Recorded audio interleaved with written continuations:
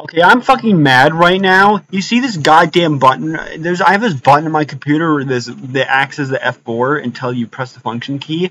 When I press it, it just turns the fucking microphone off by default. And I just didn't and I, and I it always some always seems to turn itself on by accident. I don't I even when I'm fucking not even pressing the button, like it doesn't even show up.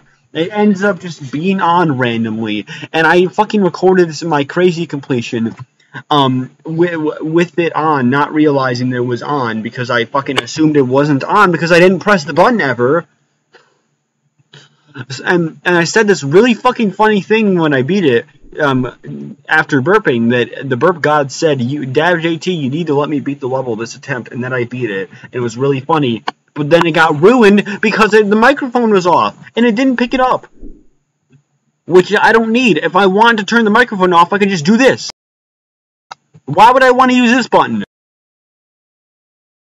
And I don't know how to fucking turn it off. I don't know how to turn that shit off. It's so fucking annoying. Because all the whole, the whole thing's ruined. I was going to make a highlights video, but now I don't even want to because this whole entire se session is, is going to be silent.